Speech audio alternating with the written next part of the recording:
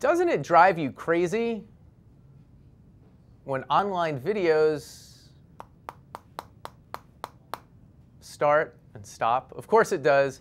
But who delivers the fastest internet speeds? It's a hotly contested question, and it can be hard to get a straight answer. But now Netflix is offering new data on their customers' download speeds on a site called Netflix ISP Index. Does it settle the age old Time Warner versus Fios versus Cablevision debate?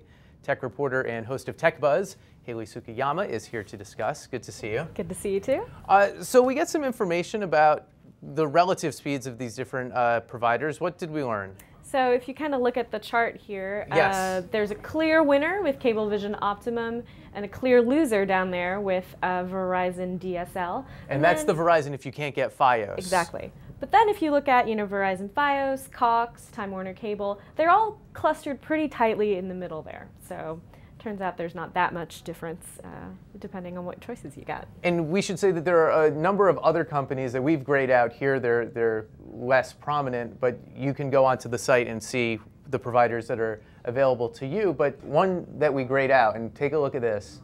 When we add Google Fiber, and of course that's only available in a really tiny handful of communities, but it is much, much faster than what everyone else is offering. Yeah, so Google Fiber can advertise up to a, a gigabit of speed, which is basically just a lot. it's yeah. a really high speed. Um, and certainly people are trying to get more gigabit communities in the US, but as Google Fiber is showing in Kansas City, you know, it's a, it's a small test case, and, um, and so they're just trying to build it out. One thing that I think everyone will notice is that these speeds are much slower than what they're supposed to be. Sure. So actually, advertised versus actual speed in broadband is a, is a big kind of gap that people always talk about. Um, cable companies are able to advertise basically the peak speed or the ideal speed that their network can deliver.